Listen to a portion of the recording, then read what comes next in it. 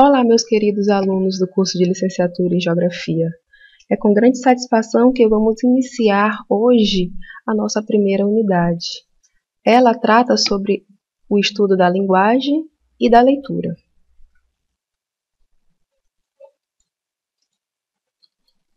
Nós, usuários de uma língua, a usamos com várias finalidades.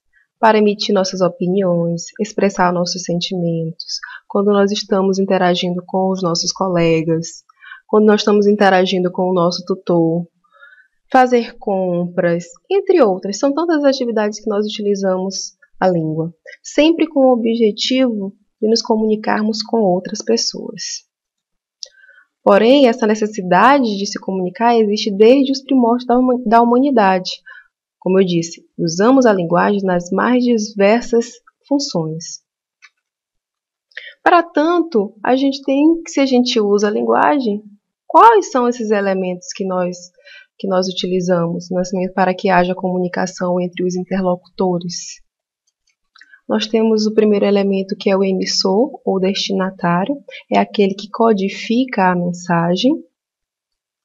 Temos o receptor ou destinatário, é aquele responsável por decodificar a mensagem. A mensagem, que é o assunto é a ser apresentado pelo emissor. O código, que são os sinais, os sinais que nós utilizamos para passar, para transmitir uma mensagem. O referente, que é o contexto entre o emissor e o receptor. E o canal de comunicação, que é o meio pelo qual veicula a mensagem. A cada um desses elementos está atrelada uma função específica, uma função de comunicação específica. Por exemplo, qual é a minha função aqui? Minha função é passar a informação sobre a linguagem e a leitura para vocês, meus alunos do curso de licenciatura em Geografia. Então, a cada elemento da comunicação está atrelado uma função da linguagem. E esses estudos sobre linguagem elementos e funções foi desenvolvido pelo russo Roman Jakobson, onde a função emotiva ela liga-se à função conativa, né, através de uma função poética, que é a mensagem, através de uma função referencial, que é o contexto entre o emissor e o receptor, por meio de um canal ou seja, de um meio, seja ele meio físico ou meio tecnológico, no caso aqui nós estamos utilizando o meio tecnológico para que haja o que? Comunicação. E utilizamos também a função metalinguística, que é centrada no código. Qual é o código que nós estamos utilizando aqui? O código da língua portuguesa. Porque se eu estivesse falando em outra língua, por exemplo, a língua japonesa, se algum aluno compreendesse essa língua, estaria tendo comunicação. Se não, não estaria, porque o meu interlocutor não estaria compreendendo a mensagem na qual eu quero passar. Pois bem, chega algum, aos questionamentos sobre os estudos da leitura. E aí eu quero perguntar a vocês: é, se a disciplina é língua portuguesa, envolve linguagem, leitura, produção textual, compreensão textual. Você tem hábitos de leitura? Faz isso frequentemente? Vocês já leram quantos livros neste ano? No ano passado? Então, para isso, a gente precisa saber qual a importância da leitura na nossa vida. Qual é? Você já parou para pensar por que ler é importante para você? Que tipo de leitura tem feito nos últimos anos? Qual é a leitura? A leitura informativa? É leitura literária? Qual tipo de leitura? Com qual objetivo você traz, você trabalha, você lê? Gostaria de ler mais ou você acha que você lê o suficiente para ter o conhecimento de mundo bem aflorado? E como você lê? É. Será que realmente eu estou utilizando das técnicas certas para fazer a leitura? É, às vezes nós nos, nos deparamos com alguns textos que esses textos são de difícil, difícil, difícil compreensão, e aí a gente se desestimula logo né, e deixa logo de lado. Ah, não entendi aquela palavra, não entendi aquele contexto e deixa de lado. Mas não, a gente precisa ler, mesmo não compreendendo, fazer uma segunda leitura e, se possível, fazer uma terceira leitura. Mas nós vamos ver isso mais tarde, onde eu vou estar dando é, esses procedimentos realmente da leitura. Então, algumas concepções de leitura, é isso.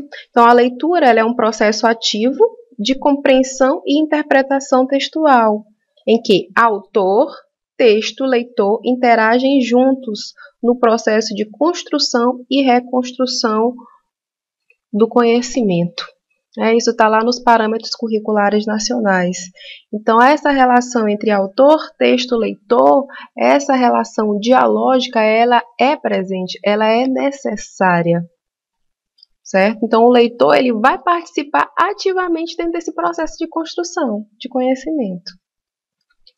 Entende-se a leitura como um processo interativo. É isso quem diz é a estudiosa Angela Kleiman, que esse processo interativo é a partir do conhecimento de, mundos que, de mundo que vocês já têm e o conhecimento linguístico, o conhecimento textual. Então, sem o conhecimento de mundo do leitor, não haverá compreensão. Por isso, ela fala desse modelo interativo de leitura. Então, como, é, como se dá esse modelo interativo? Como eu falei para vocês, que está lá nos parâmetros curriculares nacionais, a leitura é um processo ativo, quem que atua dentro desse processo ativo? Autor, texto, leitor. Então, esse processo interativo, essas três componentes participam para que haja realmente um diálogo. Então, os propósitos de leitura são: né, às vezes nós passamos o, os olhos rapidamente sobre os textos. É uma leitura que a gente pode, pode chamar de leitura superficial onde a gente consegue extrair as ideias explícitas do texto. Mas eu não quero ser um leitor superficial, eu quero ser um leitor informativo. Eu quero compreender as ideias do texto. Além disso, eu não me contenho somente com, com, esse, com esse, ser esse leitor informativo, eu preciso ser um leitor crítico, onde eu posso dialogar, onde eu posso fazer crítica, onde eu posso fazer inferências. É isso? Então, é esse leitor que nós queremos hoje. É um leitor que critique, é um leitor que levante seu posicionamento, é um leitor que faça dialogar com o texto, é um leitor que diverge da ideia do autor e fala por que está divergindo da ideia. Né? É um leitor que concorda e diz por que concorda, é um leitor que discorda e também diz que, o porquê da discordância certo? Então, esse modelo iterativo proposto pela Angela Kleiman obtém a compreensão geral do texto, critica textos, procura informações simples, integra informações, aprende com o texto e, principalmente, produz texto. Então, se nós lemos, já virou até senso comum dizer isso, né? Se nós lemos, nós conseguimos produzir textos porque o nosso conhecimento de mundo ele está atrelado ao conhecimento linguístico. E daí, continuando sobre essas estratégias de leitura, nós temos habilidades, técnicas, procedimentos e a destreza. Nós temos a técnica de, por exemplo, de ler um mapa, de ler um resumo, de analisar esses gêneros textuais, né? a partir de qualquer, de qualquer método que nós podemos utilizar. É uma leitura silenciosa, é a leitura de selecionar as palavras-chave. Ah, eu consigo ler com algumas escutando música, ou eu preciso de silêncio absoluto para eu poder ler e compreender um texto. Então, o procedimento quem vai encontrar é você. É você que vai encontrar o procedimento mais correto para realizar uma leitura. Daí nós temos a compreensão e a interpretação. E, por fim, temos a facilidade e a agilidade para ler um texto. Então, algumas técnicas de leitura nós iremos apresentar, e a primeira delas é ler com um objetivo determinado. A Angela Clayman já disse isso, ela, quando ela apresenta duas características do leitor. O leitor ele precisa ler com esse objetivo. Por que, irei, por que estou fazendo essa leitura? Qual o objetivo de ler esse texto? Qual o objetivo de ler esse livro? E a segunda característica que ela aponta é compreender o que lê. Então não adianta eu somente ler, ou seja, decodificar as letras. Eu preciso compreender o texto, o que está nas linhas do texto e o que está também nas entrelinhas do texto. Separar as palavras que eu não conheço. É, isso logo às vezes a gente faz de início na primeira leitura, e a gente não deve fazer isso na primeira leitura, a gente deve fazer isso numa possível segunda leitura. Então, mesmo eu não compreendendo algumas palavras que estão no texto, eu só vou separar, eu só vou grifar aquela palavra que eu não conheço para depois pedir auxílio de um dicionário numa segunda leitura. A primeira leitura que você vai fazer, você precisa ler o texto na íntegra. Mesmo que a compreensão não seja total do texto, mas você precisa ler o texto na íntegra. Na segunda leitura, que você vai grifar algumas palavras que você não compreende, o contexto, já pode assinalar alguma coisa ao lado do texto, ou seja, a ideia principal de cada parágrafo. E uma terceira leitura é que você vai fazer o processo de interpretação textual, porque você já compreendeu, você já sabe em que contexto aquela palavra se encontra e agora você vai interpretar. Então, essas são as técnicas de leitura: primeira, segunda e terceira leitura. Isso vai depender muito de leitor para leitor, isso vai depender muito de texto para texto. Não são todos os textos que nós vamos precisar fazer três leituras entender a forma como ele é escrito, como, qual é a estrutura desse texto. Ah, é um artigo científico? Por que eu estou lendo esse artigo científico? Né? Preciso conhecer a, as ideias de determinados autores? Então, qual é a forma, o estilo em que ele, que ele é apresentado? Fazer críticas e analisar o texto, concordar ou discordar, concordar o por, e por que concordar e discordar argumentando logicamente por quê. Então, essas críticas, elas são pertinentes, é o que nós chamamos de inferência. Você precisa fazer inferências ao texto.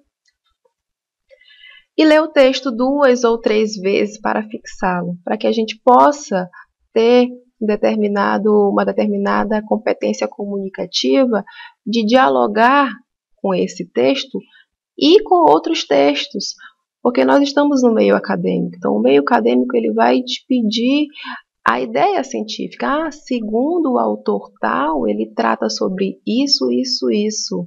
Segundo o autor X, ele trata sobre isso. Você precisa ter esse contato direto. Você precisa começar a pensar e a ler o texto e quando for desenvolver esse texto, seja na forma escrita ou seja na forma oral, ter esse conhecimento, essa ideia de outrem. Então, para compreender e interpretar. Então, o que é compreender e o que é interpretar, que muitas pessoas se confundem. Então, a compreensão ela está no texto. Então, o texto vai te dar todo o subsídio para, para compreendê-lo, seja de maneira clara ou seja de maneira não tão clara assim, que você precisa, um, você precisa de um pouquinho mais de conhecimento para compreendê-lo de maneira né, geral que o autor está querendo falar. E a interpretação, não. A interpretação é o que podemos concluir sobre o que está escrito no texto. Então aí você entra. A compreensão só diz respeito ao texto. A interpretação é o que você pode concluir do texto. A informação está presente no texto na compreensão. Na interpretação, ela está fora do texto, mas, logicamente, com elo, com ligação no texto. Certo? Então, ela está fora do texto. Por quê? Porque é você que vai dar a interpretação, mas, logicamente, não fugindo da ideia geral do texto. Então, a compreensão trabalha com a objetividade, porque é a ideia do autor e a interpretação não trabalha com a sua subjetividade. Então, você vai apresentar a sua ideia a partir da leitura. Ok, turma? Vocês compreenderam que é a diferença entre compreensão e interpretação? E aí nós temos algumas dúvidas, né? Quais são as habilidades que você utiliza para ler? Eu deixo esse questionamento a vocês. Vocês têm algumas habilidades? Se não têm ainda, procurem encontrar a, a habilidade mais correta para vocês lerem, se concentrarem, compreenderem e interpretarem textos. Qual a diferença entre compreensão e interpretação? Nós acabamos de ver isso, né? Então a compreensão ela está nas linhas do texto, a interpretação não. Ela está o quê? Fora do texto, mas logicamente com ligação, com conexão ao texto.